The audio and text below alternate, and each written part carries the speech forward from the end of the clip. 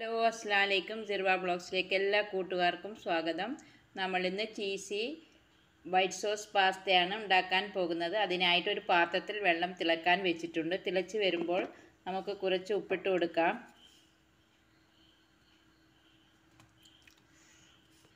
അപ്പോൾ ഇതിലേക്ക് നമുക്ക് ഏതെങ്കിലും ഒരു വെജിറ്റബിൾ ഓയിലാണ് ഒഴിക്കേണ്ടത്. വെളിച്ചെണ്ണ ഒഴിച്ച് കൊടുക്കരുത്. ഞാനിപ്പോൾ ഒഴിക്കുന്നത് ഒലിവ് ഓയിലാണ്.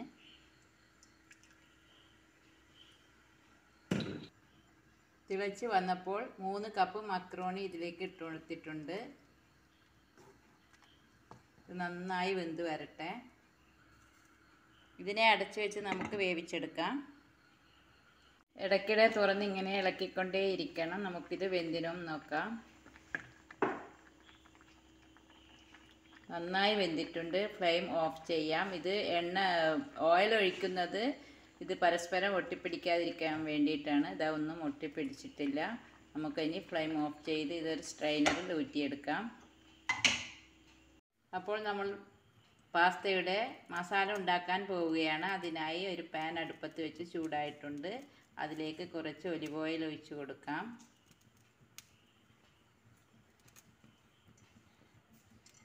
രണ്ട് ടേബിൾ സ്പൂൺ ഒഴിച്ചിട്ടുണ്ടാകും ഒരു വലിയ ഉള്ളി ചെറുതായി മുറിച്ചതാണിത്.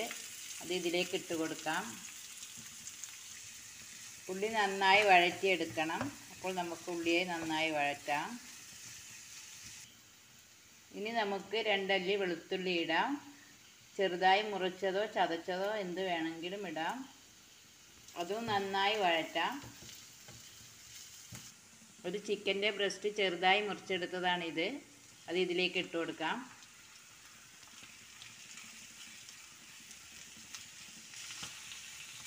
ഇത് ഇത്രയും പീസാക്കി ചെറുതായിട്ടാണ് പീസാക്കിയിട്ടുള്ളത്. ഇത് വൈറ്റ് കളർ ആവുന്നത് വരെ നമുക്ക് വഴറ്റിയെടുക്കാം. നമുക്ക് ചിക്കൻ വന്നിട്ടുണ്ട്. ഒരു വലിയ സവോ വലിയ ക്യാപ്സിക്കം ചെറുതായി മുറിച്ചത് ഇട്ട് കൊടുത്തിട്ടുണ്ട്. എല്ലാം ഒന്നിച്ച് മിക്സ് ചെയ്യാം. ടേബിൾ സ്പൂൺ ടൊമാറ്റോ സോസ് ഒഴിച്ച് കൊടുക്കാം. ഒരു ടീസ്പൂൺ പാപ്രിക്കോ പൗഡർ ഇട്ട് കൊടുക്കാം. നിങ്ങളുടെ അടുത്ത് പാപ്രിക്കോ പൗഡർ ഇല്ലെങ്കിൽ മുളക് പൊടി ഇട്ട് കൊടുത്താൽ മതി. ഒരു ടീസ്പൂൺ ഒറിഗാനോ ഇട്ട് കൊടുക്കാം. ഒരു ടീസ്പൂൺ ചില്ലി ഫ്ലേക്സ് ഇട്ട് കൊടുക്കാം. ഒരു ടീസ്പൂൺ കുരുമുളക് പൊടി ഇട്ട് കൊടുക്കാം. ഒരു ടീസ്പൂൺ കുമിൻ പൗഡർ അതായത് ജീരകപ്പൊടി. ഒരു ടീസ്പൂൺ ബേസിൽ ആവശ്യത്തിന് ഉപ്പിട്ട് കൊടുക്കാം. ഇനി ഇതെല്ലാം ഈ ക്യാപ്സിക്കം ഒന്ന് വാടി വരുന്നത് വരെ എല്ലാം ഒന്ന് മിക്സ് ചെയ്യാം. ഈ പൊടികളുടെ പച്ചമണവും മാറണം. അതുവരെ ഒന്നെല്ലാം മിക്സ് ചെയ്ത് കൊടുക്കണം. കുറച്ച് മല്ലിച്ചപ്പ് ഇട്ട് കൊടുക്കുന്നുണ്ട്. ഇതിന് പാസ്ലയാണ് ഇടേണ്ടത്. പാസ്ല ഇവിടെ ഇല്ല. അതുകൊണ്ട് മല്ലിച്ചപ്പാണ് ഇട്ട് കൊടുത്തിരിക്കുന്നത്. ചിക്കനൊക്കെ നന്നായി വെന്തിട്ടുണ്ട്. അപ്പോൾ നമ്മുടെ പാസ്ത പാസ്തയുടെ മസാല റെഡി ആയിട്ടുണ്ട്. അപ്പോൾ നമുക്ക് ഫ്ലെയിം ഓഫ് ചെയ്യാം.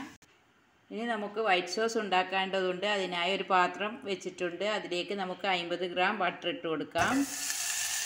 നമ്മൾ ഇതിലേക്ക് അമ്പത് ഗ്രാം ബട്ടറാണ് ഇട്ട് കൊടുത്തിട്ടുള്ളത്. അത് മെൽട്ടാവുന്നുണ്ട് അത് മെൽട്ടായി കഴിഞ്ഞാൽ രണ്ട് ടേബിൾ സ്പൂൺ മൈദപ്പൊടി ഇട്ട് കൊടുക്കണം.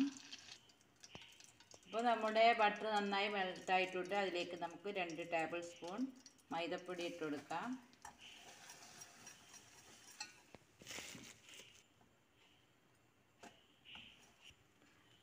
മൈദയുടെ പച്ചപ്പണം പോകുന്നത് വരെ ഇത് നന്നായി ഇളക്കിക്കൊണ്ടേയിരിക്കണം.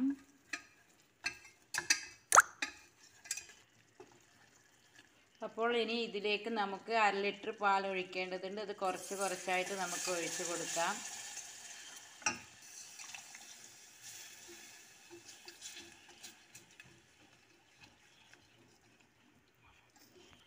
ഇത് കുറച്ച് തിക്കായി വന്നിട്ടുണ്ട്. ഇതാക്കട്ടെ. കുറച്ച് ഓറിഗാനോ ഇട്ട് കൊടുക്കണം. ആവശ്യത്തിന് ഉപ്പിട്ട് കൊടുക്കാം. ഒരു പിഞ്ച് ചില്ലി ഫ്ലേക്സും കൂടി ഇട്ട് കൊടുക്കുന്നുണ്ടെങ്കിൽ നിങ്ങൾക്ക് ആവശ്യമുണ്ടെങ്കിൽ ഇട്ട് കൊടുത്താൽ മതി. നന്നായി ഇളക്കി കൊടുക്കാം.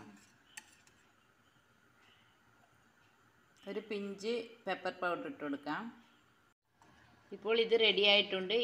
ഇതുപോലെ ആകുമ്പോഴത്തേക്കും ഫ്ലെയിം ഓഫ് ചെയ്യണം. ഇത് തണുത്ത് വരുമ്പോൾ വീണ്ടും ഒന്ന് തിക്കായി വരും. അതുകൊണ്ടാണ് പറയുന്നത്.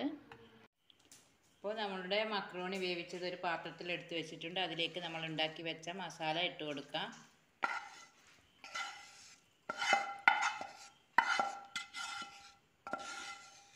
ഇതിനെല്ലാം ഒന്ന് മിക്സാക്കി കൊടുക്കണം. അപ്പോൾ നമ്മുടെ പാസ്ത സെറ്റ് ചെയ്യാൻ പോവുകയാണ്. അതിനായി ഒരു ട്രേ എടുത്തു വെച്ചിട്ടുണ്ട്. അതിലേക്ക് നമുക്ക് കുറച്ച് വൈറ്റ് സോസ് ഇട്ട് കൊടുക്കാം. സ്പ്രെഡ് ചെയ്ത് കൊടുക്കണം. അതിന്റെ മുകളിൽ മക്രോണി മസാലയും മിക്സ് ചെയ്തത് നമുക്ക് ഇട്ട് കൊടുക്കാം. ലെയർ ലെയറായിട്ടാണ് ഇടേണ്ടത്. ഇനി ഇതിന്റെ മുകളിൽ കുറച്ച് വൈറ്റ് സോസ് ഇട്ട് കൊടുക്കണം.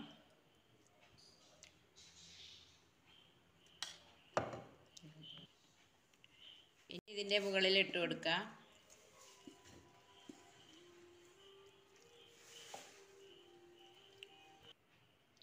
അപ്പോൾ എല്ലാം ലെയർ ലെയറായി ഇട്ട് കൊടുത്തിട്ടുണ്ട്. ഇനി ഇത് ലാസ്റ്റാണ് മുകളിൽ ഇട്ട് കൊടുത്തതാണിത്. ഇതെല്ലാ സ്ഥലത്തേക്കും നമുക്ക് അപ്പോൾ ഇത് ലെയർ ലെയറായി നമ്മൾ സെറ്റ് ചെയ്ത് വെച്ചിട്ടുണ്ട്. ഇത് ഇതിന്റെ മുകളിൽ ചീസ് ഇടേണ്ടതുണ്ട്. ഇനി ഇതിന്റെ മുകളിൽ ചീസ് ഗ്രേറ്റ് ചെയ്തിട്ട് കൊടുക്കാം.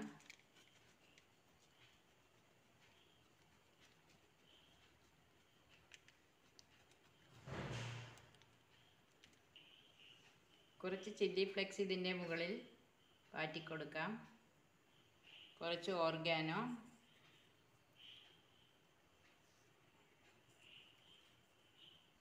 അപ്പോൾ അപ്പോൾ നമ്മളുടെ പാസ്ത ചീസൊക്കെ ഇട്ട് റെഡിയാക്കി വെച്ചിട്ടുണ്ട്. ഓവനിൽ എടുത്ത് വെച്ചിട്ടുണ്ട്.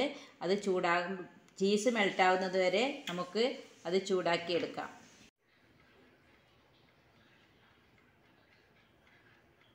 പാസ്ത റെഡി ആയിട്ടുണ്ട്. നമുക്കിതിനെ പുറത്തേക്ക് എടുക്കാം നമ്മുടെ പാസ്ത റെഡിയായിരിക്കുന്നു ഈസിയും ടേസ്റ്റിയുമാണ് നിങ്ങളെല്ലാവരും എന്തായാലും ഉണ്ടാക്കി നോക്കണം എന്നിട്ട് ഫീഡ്ബാക്ക് അറിയിക്കാൻ മറക്കരുത്. Okay bye